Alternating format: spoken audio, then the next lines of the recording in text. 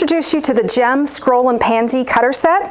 It's a four-piece set, probably one of the most misunderstood, underused, but still the most fabulous set that JEM makes. I'm a big fan of this one.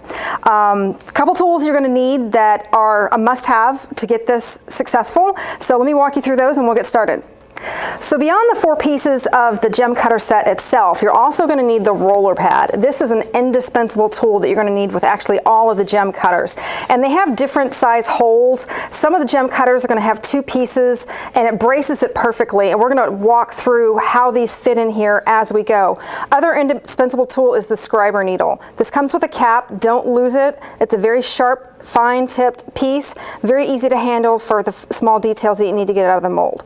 So what I'm working with is satinized gum paste. There's actually three pieces of, or three styles of gum paste, I should say, that work well in this. Some don't. So if you're using like the fondant plus Tylose kind of gum paste recipe and it's not working for you, that's why. It's a little bit too soft. So just from my experience, there's three that work in here. It's the PME sugar paste, ready-made, the satinized gum paste, and I add a little bit more Tylose powder to that and it works nicely. And then also the Carrie Biggers gum paste recipe, and that's on our website. She was kind enough to let us post that there. It's a homemade recipe. You do need to make it the night before, but it's a really nice flexible gum paste that allows you time to work but then still sets firm. That also really works well in your Cutter if you're a Cricut cutter fan. So let's get started. I've got some colored black and let me show you how to get these in the mold. So I'm going to start with the most complicated one first complicated, I think, in, in, some people's minds just because it's thin and delicate and it's hard to work with sometimes. So I'm just going to set this, see how it has the little handle almost on the back. I'm going to set this down into the mold and just make sure it's good and firm. Now it's funny, um, we think of these cutters a little bit differently. As Americans, we tend to force the cutter onto the piece of gum paste. Really, this goes the opposite way. This is there to accept the gum paste. And when we push it in there, like I'm going to show you how, it really accepts the impression a lot better and the cut comes out a lot cleaner. So here I've got, I've been working on my mini mat. I've got a little bit of the satinized gum paste that, with Tylose powder that I colored black, and I've rolled it out really nice and thin, probably an eighth of an inch or even thinner. I'm just going to give it one more roll to make sure it's nice and thin. All right, here's my trick. You ready? a little spritz of canola or vegetable spray. And I'm not going to do it over my work surface because I don't want this tacky. I'll do it over here. A little spritz and then I'm going to just rub that on. And I'm not going to spray it into the mold because I don't want it getting like gunky and chalked up. But what I'm going to do is just lay it over the mold. Give a little press with my fingertips to get it to stay in place. And then I'm going to roll over it with my poly pin, my small pin here. And what that's going to do is kind of push it down into the mold while cutting the edges. So I've got it down in there nicely. Now I'm going to go over it more firmly with the rolling pin and you can see where the edges are starting to cut through. You can almost just rub it over the edge. And you want to make sure that gets all down in there, all the detail gets down and nice. Nice clean cut. And then you should be able to pull it off very gently. Now this cutter, it really cuts it into two pieces. So you can see where the separation is here. So you've actually got two of those scrolls, not just one. I'm going to take my scriber needle out and me, I'm going to go ahead and pull one of these out for you because I want to show you how easily they come out. But ideally, because this is still kind of a soft gum paste, I want to let this sit in here for maybe up to 15 minutes just to kind of start taking the shape. Look how, see, I'm just going to use my scriber needle see where this piece is here? I'm going to pull out a little bit and help it out of that mold. Don't pull too too firmly because it can distort it. So I'm going to lay this down and you can see how it's still soft. I can shape it a little bit. You can curl it a little bit more if you want to or open it up. But you can lay, lay that flat if you like to or you can go ahead and apply it to your cake. Um, this is a, a pretty dry gum paste that I started with so it's holding its shape really nicely. But if you're working with a softer gum paste, it can stretch out of shape. So just be careful of that. If that's the case and you find it is stretching as you're pulling it out, just let it sit in there for like 15 minutes. Then you'll be able to have success with your pulling out with scribe on ear. Okay, so what I'm going to do is pick this up. You could also paint this gold. Would look great. Just paint it on your board separately. I've got my gum glue. We've got a video on how to make that if you're unfamiliar with that. I'm going to flip it over to the back sides up and just really gently with my gum glue touch the back. You don't want this sloppy because you don't want it sliding off. This is just going to help it adhere to the cake. And then just however you see your design, if you want to do it in a band across the center, that's great. But then you just apply that to the cake. I'm gonna go ahead and pull my second piece out here and show you how these work together. If you'd like to, some of these uh, pieces, we'll get in here close again. I'm gonna use my uh, craft knife here. Some of these pieces, you don't have to use all these if you don't want to. So maybe I want to like embellish my first scroll a little bit. I can cut this right here and just use this piece. I'll attach again with a little bit of gum glue. Not too much, just a couple dots.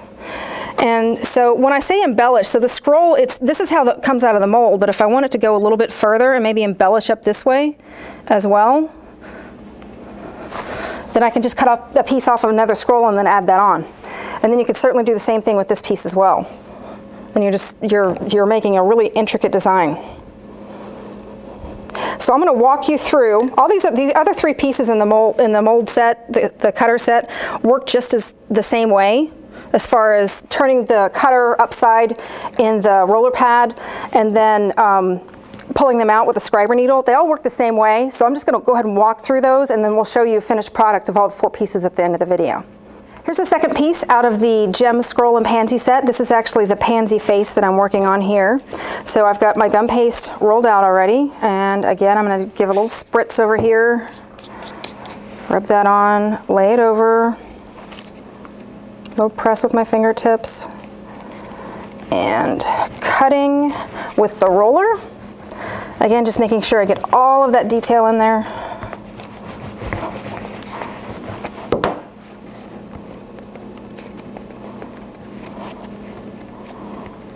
Sure it's going to cut nice and clean.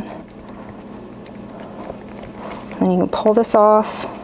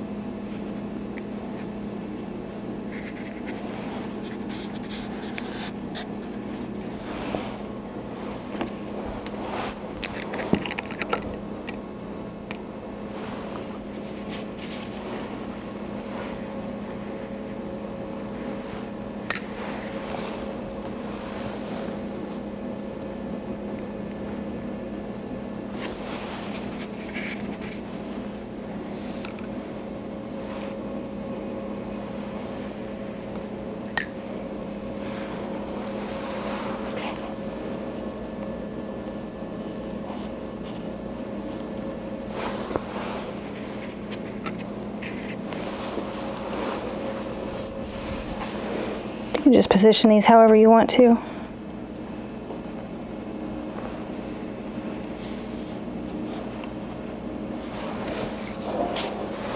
Take your scriber needle and move that around and position a little bit better how you want it as well. If you get any of this residue on the back here, you can just brush that off with a clean brush and alcohol. All right, let's move on to another piece. Okay, I'm gonna work with the third piece out of this set now. Got a little bit more gum paste rolled out.